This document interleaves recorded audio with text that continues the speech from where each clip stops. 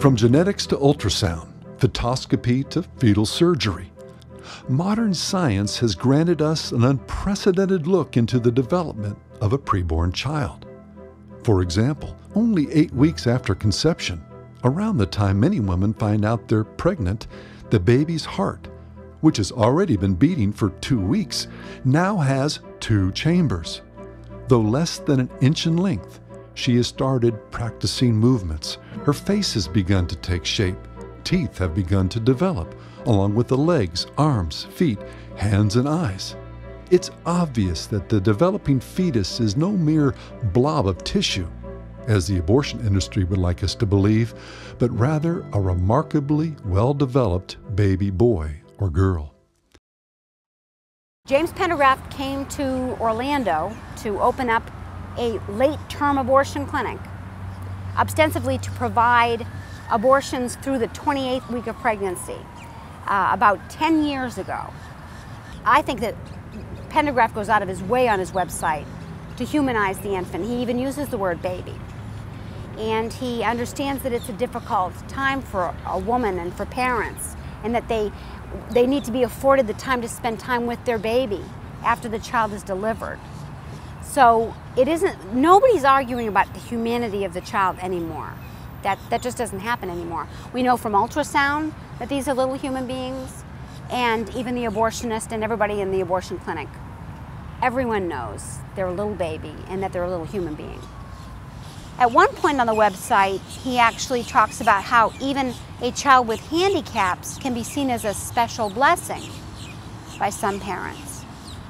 So the abortionist himself, James Pendergraft, is, is not in any way denying that these children are human beings.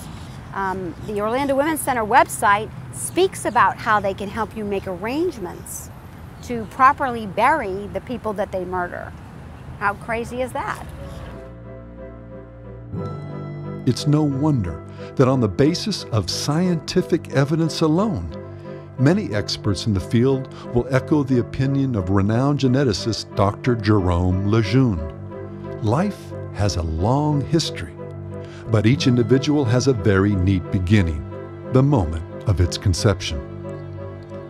But while genetic and other medical evidence certainly support the idea that human life begins at conception, the Bible, the very Word of God, and not science, is our ultimate source for truth. And the Scriptures make it very, very clear that human life begins and is sacred from the very moment of conception.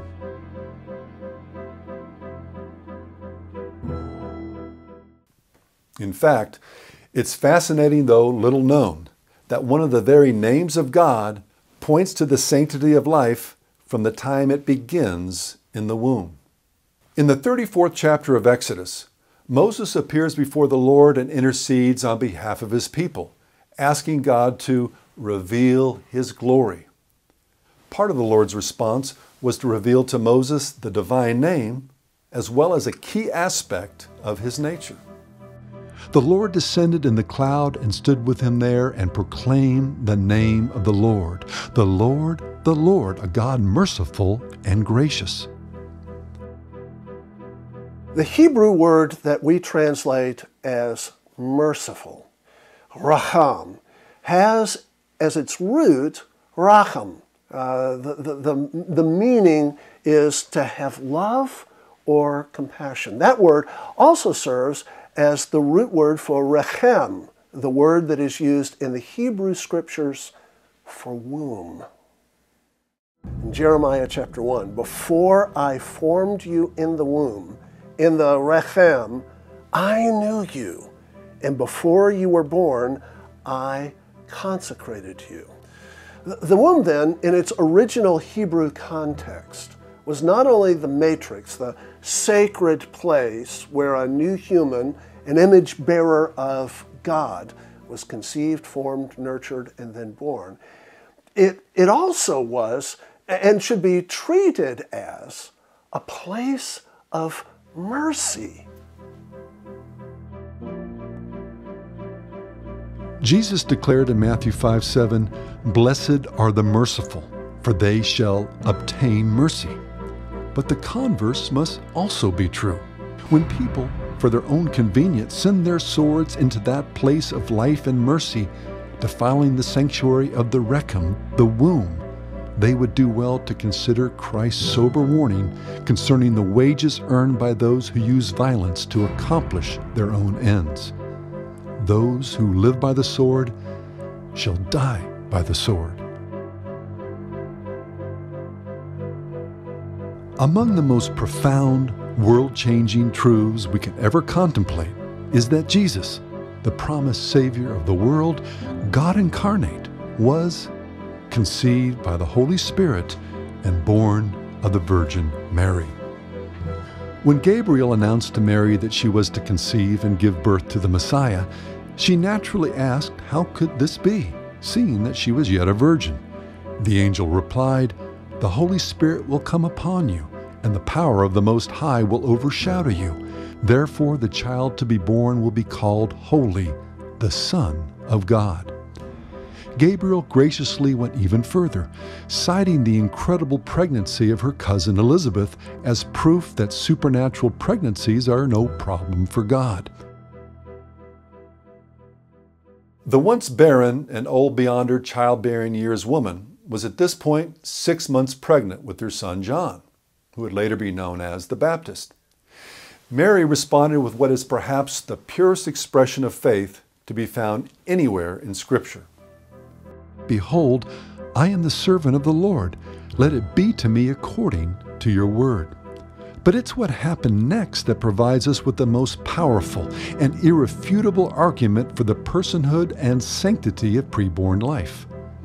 In those days, Mary arose and went with haste into the hill country, to a town in Judah, and she entered the house of Zechariah and greeted Elizabeth.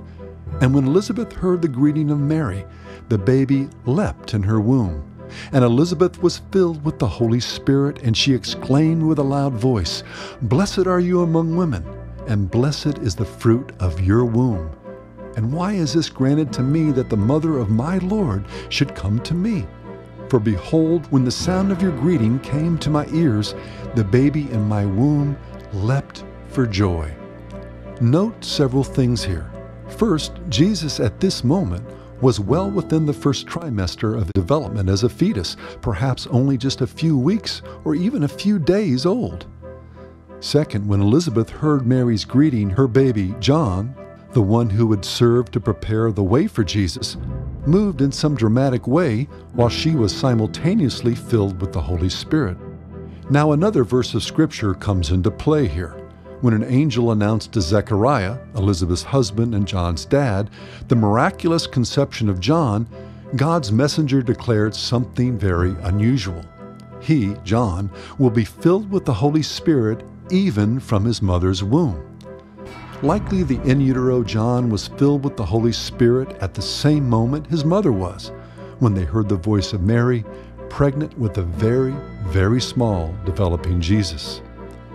Now, a few critically important things need to be understood here. First, only humans, as image bearers of God, can be vessels of the Holy Spirit. The in utero John, as just such a vessel, was recognized by God Himself as being fully human. Note also that the scriptures here refer to John as the baby, the Greek word brephos, that leapt in the womb. In the next chapter of Luke, it refers again to a baby, a brephos, but this time it's Jesus, born and now lying in a manger. Intra utero or extra utero, it makes no difference. We're still talking about a baby, a fact that, if we're honest with ourselves, is still the way we refer to the preborn today. Um, but where we're going is so exciting! We are going to my ultrasound appointment to see what my little cupcake's gonna be, if it's gonna be a boy or a girl. So I'm so excited. I cannot wait and start getting excited about buying little things for that person. So their stuff's all ready when I get here. I'm so excited. I can't wait. This is like like Christmas morning for me. Like I can't wait to see what it's gonna be.